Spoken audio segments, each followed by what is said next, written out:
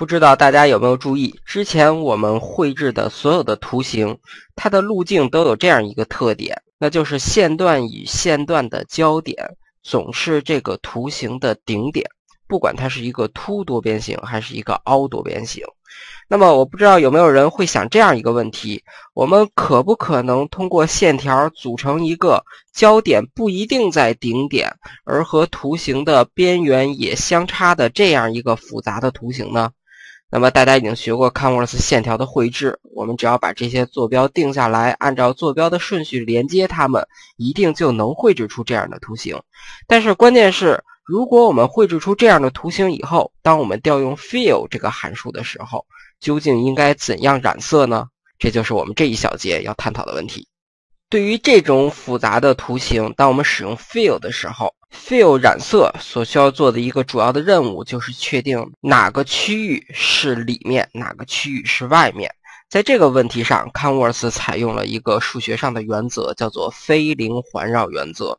什么叫非零环绕原则呢？那么大家可以看这个例子。在一个区域里取一个点，那么这个点向外引一条射线，那么这条射线就会和组成这个区域的线条相交。在这里要注意，我们绘制这个线条是有方向的，所以这条射线和区域相交就会存在两个方向，一个是从左至右，另外一个呢是从右至左。那么在这种情况下，我们可以定义。这些边缘和这条射线一个方向相交是正一，另外一个方向相交是负一。那么非零环绕原则说的是，如果存在这样一条射线，这条射线和刚才介绍的每一个相交的边缘用正一、负一的方法进行加减运算的话，如果其结果是非零。那么这个区域就处在这个多边形的里面。如果结果为零，那么这个区域就在多边形的外面。具体什么意思呢？我们先来看看这个例子。比如说，在这个区域，我们随便取一个点，如果我们能找到一条射线向外引这个射线，那大家可以看到，此时只有这一个边和这个射线相交。那么此时，如果我们定义这个方向是正一的话，那么结果就是正一，正一非零，所以这整个区域就在多边形的那边，就会被染色。那么大家再看这个区域，在这个区域里头，我们随便取一点，如果存在这个射线，大家可以看到这个射线，那么可以看到它和两个边缘相交，这两个边缘和这条射线相交的方向是一致的。都是从这个图上看是从下至上，从下至上这样一个方向，那么计算出来的结果为二，所以可以看到此时这个区域也处在多边形的内部。那么大家再来看看这个点，从这个点向外存在这样一条射线，我们引出了这条射线，此时它和两个边缘相交，一个边缘是从这侧向这侧走。另外一个边缘是从这一侧向这侧走，那么如果我们定义这个方向为正一的话，这个方向就是负一。那么此时经过运算后，其结果为零。非零环绕原则告诉我们，这个区域存在一条射线，经过刚才那个法则计算的话，结果为零。这个区域就在多边形的外面，所以在这个图示里它是不染色的。当然了，大家可以想象，在这个整个多边形的这些线条的最外侧的这些点。那么一定可以向远离这个图形的无限远的地方去引一条射线，这条射线永远不会和这个图形中的任何线条相交，所以它们的结果一定为零。所以这些外面的部分一定是在这个多边形的外面，这就是非零环绕原则。非零环绕原则在拓扑学中是一个非常著名的判断内侧和外侧的方式。如果大家有不理解的地方，也可以在互联网中搜索这个关键词，查看更为严谨的定义。在实际的情况下，非零环绕原则有什么用呢？通常我们很少会画出之前介绍的那么乱的一个图形，但是大家可以思考一下，如果我想画这样一个圆环的话，应该怎样画出来？有的同学可能会想，我可以先画一个蓝色的外边框的大圆，之后再画一个白色的内边框的小圆，组成这样一个圆环。当然，这样固然可以，但是大家可以看到，我在这里啊加入了阴影。当我们加入了阴影以后，大家看到内边框的这个阴影啊是加在内侧的。但是大家可以动手试试看，如果采用刚才的外面画蓝色大圆，里面画白色小圆的方式的话。这个阴影会加在白色的小圆的外侧。那么，在我这个图形里，之所以阴影会在这个白色圆的内侧，是因为这个白色的圆圈处于我现在所绘制的这个图形的外面，也就是不在这个图形里，所以阴影才会出现在这里。那么，大家可以想一想，这样的图形，我们应该用 Canvas 怎样绘制出来呢？事实上，类似这样的剪纸的效果，就是非零环绕原则的一个典型的应用。那么大家可以看一下这个图示。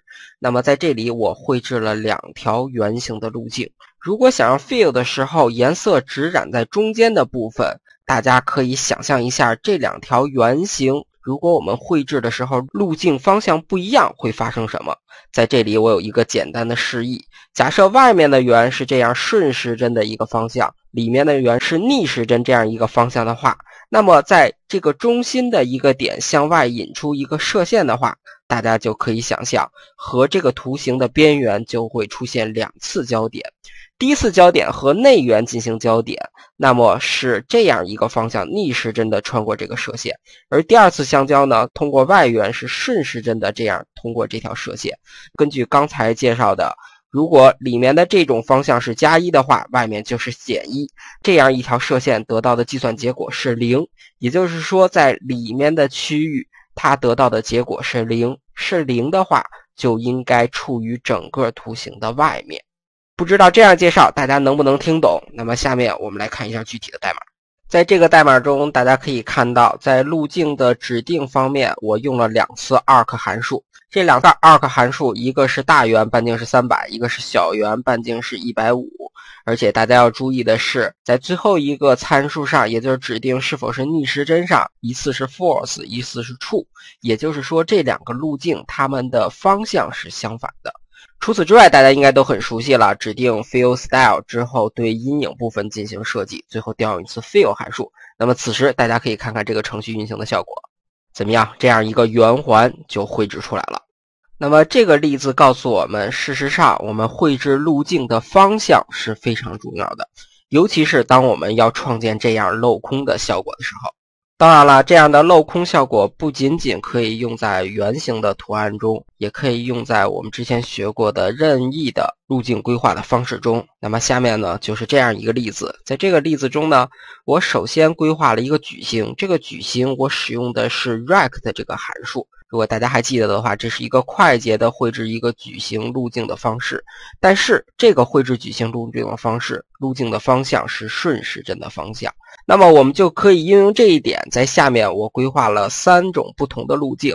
一个呢是还是一个正方形，但是这个正方形。我使用的是我自己制作的一个函数。我之所以使用自己制作的函数，是因为在这里我的路径方向要是逆时针方向的，所以我只能自己编写。那么，相信大家听了之前的课，编写这样一个函数是非常的简单的。其次，我还规划了一个三角形，依然是我自己编写出来的。最后，我用了一个圆形的路径，使用的是 arc 函数。最后一个参数调成 true，所以它是一个逆时针绘制的圆形。然后设置 fill style 的状态和 shadow 相关的各种状态。最后调用 fill 进行绘制。大家可以看看此时这个程序运行的效果怎么样？是不是非常酷？相信通过这一节的学习，大家已经掌握了使用 Canvas 的非零环绕规则来制作这样剪纸效果的方法了。大家不妨发挥自己的创造力，来制作出更加绚丽的图形来。大家加油！